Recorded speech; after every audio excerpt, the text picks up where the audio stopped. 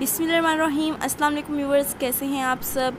Welcome to my channel. आज मैं आपके लिए बहुत ही मज़ेदार, बहुत ही स्पेशल आलू नान रेसिपी लेकर आई हूँ। बहुत ही मज़ेदार ये तैयार होगी।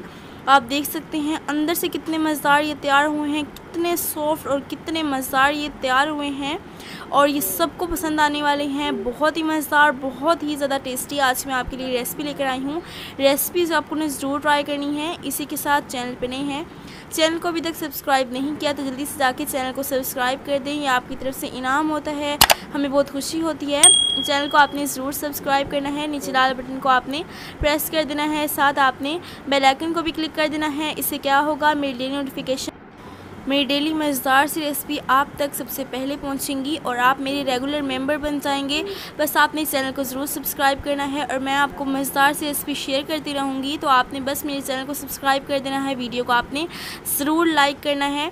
तो मज़ेदार से मज़ेदार से आलू के नान बनाने के लिए हमने यहाँ पर मैदा लिया है, इसमें हम ऐड कर देंगे यीस्ट और यीस्ट जो है हम इसमें ऐड करें हैं वन टेबल स्पून और यहाँ पर हमने यीस्ट जो है वो हमने न्यू ली थी और अगर आपने इसे टेस्ट करना हो तो आप इसे दूसरे पानी में डालकर भी, यानी आप एक प्याली में पानी लिए उसमें भी ऐड करके आप टेस्ट कर सकते हैं। अगर वो फूल जाए तो इसका मतलब है वो बिल्कुल सही है, तब आप इस्तेमाल कर सकते हैं। इसमें जाएगा पिसी हुई चीनी का टू टेबल स्पून और यहाँ पर आप ऐसी भी चीनी इस्तेमाल कर सकते हैं, पानी में भिगो के।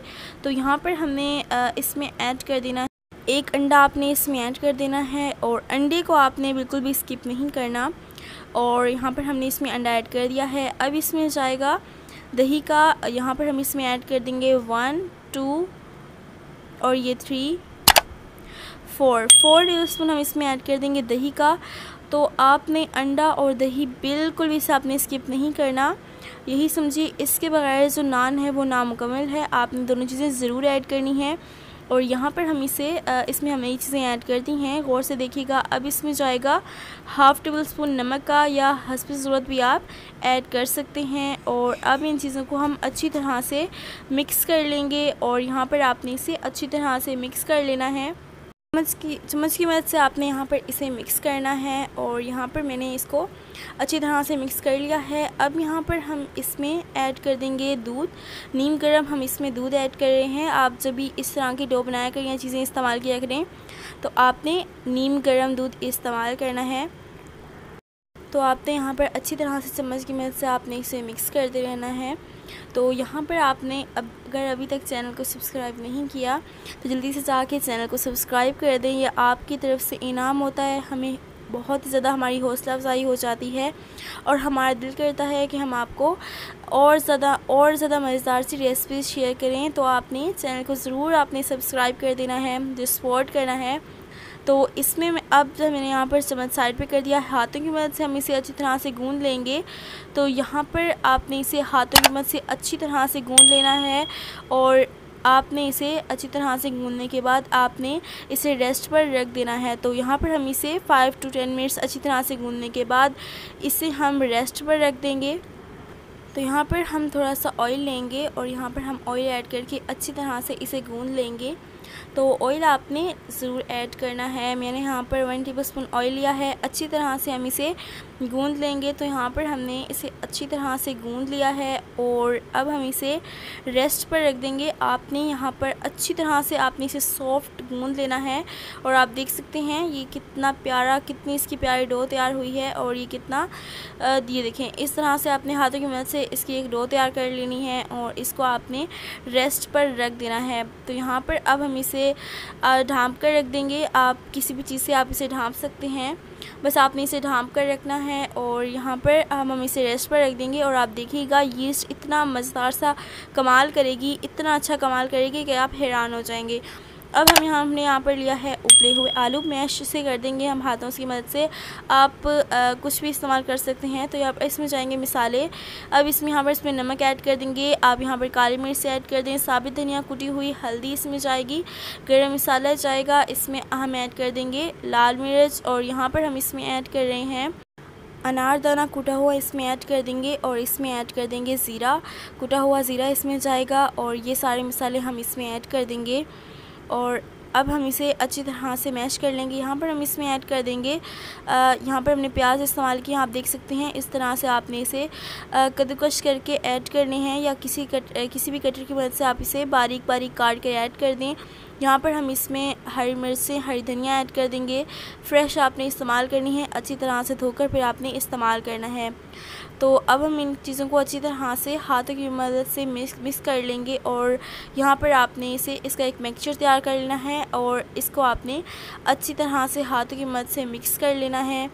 तो यहाँ पर अब हम इसे अच्छी तरह से मिक्स कर लेंगे। आपने यहाँ पर इसे पाँच मिनट तक अच्छी तरह से मिक्स कर लेना है और यहाँ पर आप देख सकते हैं, मिसाले जो हैं वो अच्छी तरह से आपस में मिक्स हो चुके हैं और यहाँ पर हमारा जो मिक्सचर है वो तैयार हो चुका है और अब हम चलते हैं अपनी डो की तरफ़। तो यहाँ पर इसको हमने उतनी देर रेस्ट दिया है, जितनी देर में हमने वो मिक्सचर तैयार किया था। तो यहाँ पर आप देख सकते हैं यीस्ट ने कितना अच्छा अच्छा काम किया है और कितना ये अच्छा फूला हुआ है और अब हम इसे दोबारा से गूंद लेंगे। आपने यहाँ पर इसे आधे घंटे के करीब रेस्ट देना है। इसे हम दोबारा से गूंद लेंगे और डो जो है बहुत ही कमाल की तैयार हुई है और यहाँ पर हम इसे इसे साइड पे कर लेंगे। अब हमने यहाँ पर डस्टिंग की है मैदे की और इसके ऊपर हम ऐड कर देंगे डो और इसको हम आ, ये आपको दिखाते हैं किस तरह से आपने इसकी शेप दे देनी है। तो इस तरह से करके आपने इस तरह से आपने इसकी लंबी शेप दे देनी है और उसके बाद आपने एक छुरी लेनी है और उससे आपने इसके इस तरह से पीसीस अलग कर लेने हैं, काट लेने हैं आपने। तो ये आप देख सकते हैं, आपने इस तरह से पीसेस इसके अलग कर लेने हैं और इससे हम आलू के नान तैयार करेंगे। बहुत ही मज़ेदार ये तैयार होंगे और बाज़ार से कई गुना बेहतर ये घर हम इसे घर पर तैयार करेंगे और ये सबको पसंद आने वाली है ये रेसिपी तो वीडियो पसंद आए तो आपने लाइक ज़रूर कर देना है वीडियो को और ये रेसिपी तो बहुत ही मज़ेदार तैयार होगी। अब हमने यहाँ पर एक पीस लेना है और इसको आपने इस तरह से ये आप देख सकते हैं, आपने एक पेड़ा बना लेना है। ये देखें, हाथों की मदद से इस तरह से पेड़ा आपने बना लेना है। ये देखें, पेड़ा तो सबको बनाना आता होगा तो आपने पेड़ा इसका बना लेना है और दूसरे का भी आपने इस तरह से सबका आपने पेड़ा तैयार कर लेना है। तो अभी बहुत से स्टेप होने वाले हैं तो आपने स्किप बिल्कुल भी नहीं करना। अब हम एक पेड़ा लेंगे। यहाँ पर हमने सारे जो हैं तैयार कर लिए हैं और यहाँ पर हमने मैदे की डस्टिंग कर ली थी। अब हम इसे बेल लेंगे तो आपने यहाँ पर इसे बेल लेना है। तो इसको हम अच्छी तरह से बेल लेते हैं। यहाँ पर हमने इसे बेल लिया है और आपने इसे तकरीबन इतने साइज़ का बेलना है। या आप देख सकते हैं, इस इतने साइज़ का आपने इसे बेलना है। अब हम यहाँ पर अपना मिक्सचर लेंगे और वो हम इसमें ऐड कर देंगे।